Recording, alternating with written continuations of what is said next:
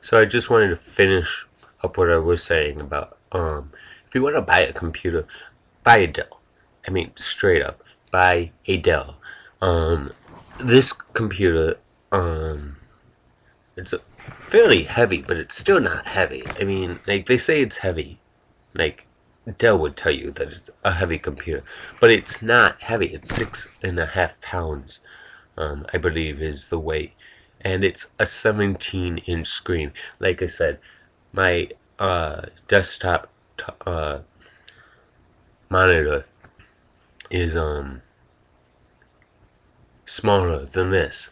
Now, I mean, my monitor is not the biggest, but it's a freaking desktop. It's a stinking, it's a stinking um, desktop monitor. Um, and this is a laptop. Yeah, that didn't come out right. But anyways, desktop monitor, laptop. Yeah, once again, I'm just gonna pass right over that and pretend I didn't even say that. Um, but I do believe that this is the largest screen that Dell offers at 17 inches on their laptops. It's it's beautiful. It's not even the nicest uh, screen that they offer. Um, because there's like three different screens you can get with this particular computer, glassy and uh, whatever.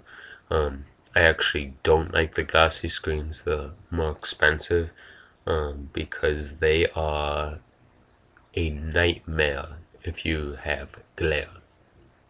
Um, but buy a Dell because you will be happy. Um, I've had issues with Dells, but none of them have been Dell's fault. You know, viruses, spyware, blah blah blah. Because I'm being silly and get that stuff on my computer. That's not Dell's fault. That's my fault. That's my mom's fault. and everyone else that I've cleaned garbage off of Dell's.